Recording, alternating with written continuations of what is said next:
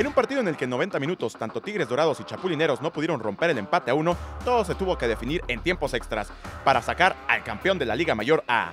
El Estadio Cabrera Carrasquedo vivió una final en la que muchos aficionados tuvieron que esperar 30 minutos más a los 90 reglamentarios para poder festejar con su escuadra.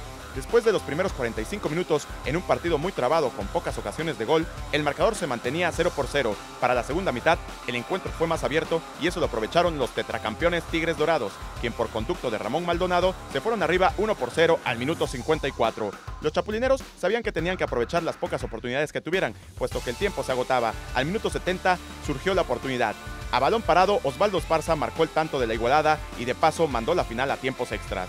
En el alargue, el mismo Ramón Maldonado y Miguel Rojas terminaron por poner el marcador a favor de los Tigres Dorados 3 a 1 y con esto conseguían el quinto campeonato consecutivo para la organización. Informó para MBM Deportes Pablo Vázquez.